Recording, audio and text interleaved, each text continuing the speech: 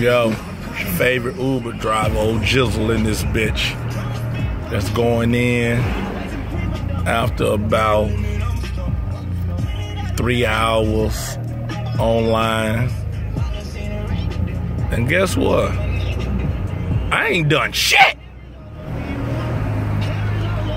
But that bag is getting checked. You can believe that. Out here. Rolling in, finna pick up my baby. It's the weekend.